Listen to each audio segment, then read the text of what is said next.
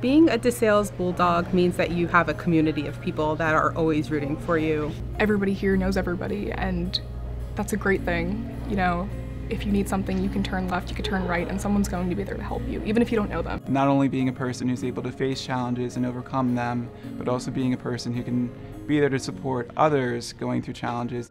It's, um, you know, a smaller student to professor ratio, so you can really develop those personal connections with your professors. My teachers promote an atmosphere that is comfortable for the students to answer questions. They want the best for you. Like I'm trying to find internships right now. My professors are sitting down with me trying to see where I want to be. So if you have an accounting professor, they were an accountant. If you had a marketing professor, they worked in their field. By getting someone who actually lived what they're teaching, you get a better learning experience out of it.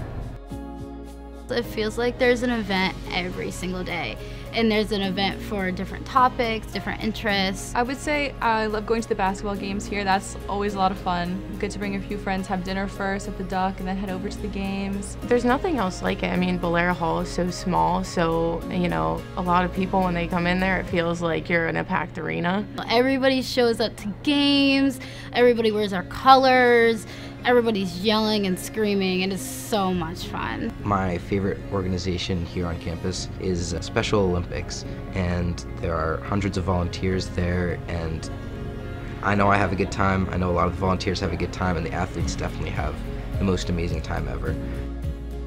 Last semester, I had the opportunity to study abroad, which is where we were a close knit of 17 students. It was just us for three months straight, and that group is like one of the closest peoples I've ever like, yeah.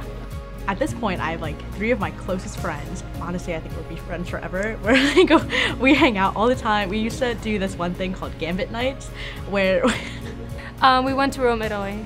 She was there. She was my roommate, and yeah, we were still. She's one of my best friends ever.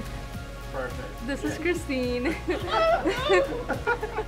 we'd stay here until like five in the morning and we'd like play just dance in like the auditoriums and then get all our studying done. Of course you have your roommates and you have the individuals in your classes but then there's also the individuals in your general education studies that you know you grow close with and you see at events on campus and you're like hey like i know you. I feel as though i might be closer to them than to some people i've known for years at home so like the school speaks for itself. People will hold the door open for you, they'll say hi.